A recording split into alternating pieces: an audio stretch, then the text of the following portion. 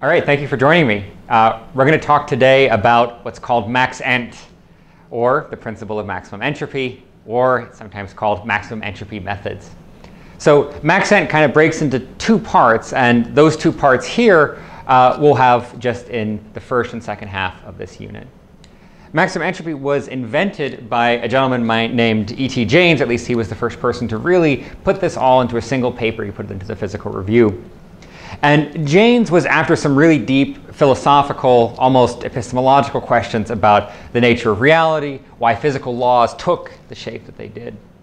But in recent years, what we found is maxent, the principle of maximum entropy, has found an enormous amount of use in machine learning, in the modeling of real world processes, as opposed to, let's say, their explanation and the understanding of those processes. So there are some people who are really interested in prediction, for example. They'd like to learn what the stock market looks like and predict what it's going to look like tomorrow. They want to learn the nature, let's say, of a particular patient's cancer. They'd like to model it in such a way that that model is good enough that tomorrow they can predict what's going to happen next.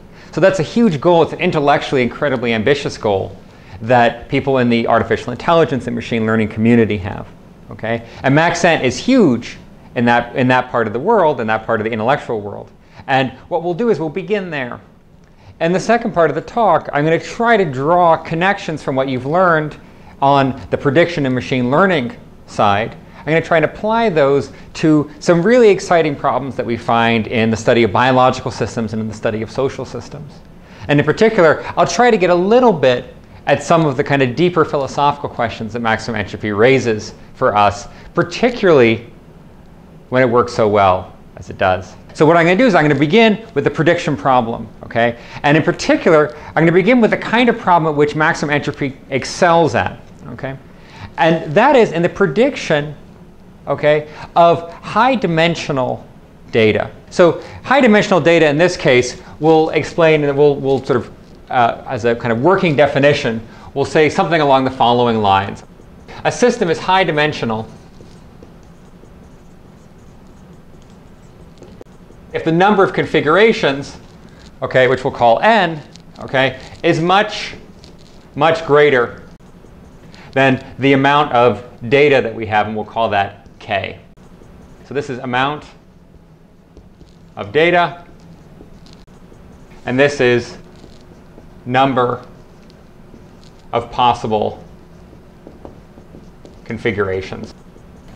So the number of ways the system could look okay, is much, much, much greater than the number of ways you've actually observed it in the real world, okay, the number of times you've observed it in the real world, okay. So oftentimes we can talk about the dimensions of a data set. So let's, for example, take an image, and let's take a black and white image, okay, and let's say that image has uh, 10,000 pixels, okay. So each pixel in your image each pixel in your image can take on, let's say, the plus one or minus one value. Black, let's say, is plus one, minus one we'll say is white, okay? And so any image here can have any arbitrary combination, any arbitrary combination of pixel values.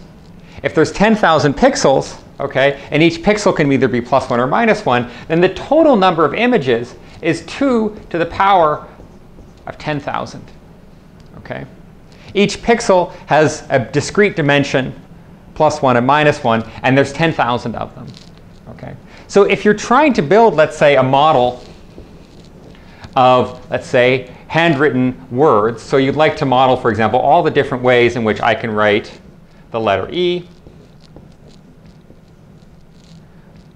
there's almost no way that you're going to acquire, in fact, I think there's probably, it's probably possible to prove that the universe will die a fearsome heat death, okay, before you're able to gather enough samples of my handwriting, okay, so that the amount of data you have k is in any way comparable to 2 to the 10,000. Just to give you a sense, 2 to the 10,000 is sort of like 1,000 to the 1,000, 10 to the 3,000. So that's like a googol to the power of 30. So in these cases here, what we'd like to do is we'd like to talk about, or at least give probabilities to particular images, okay, drawn from a set where the total number of images is far fewer than the total number of possible images.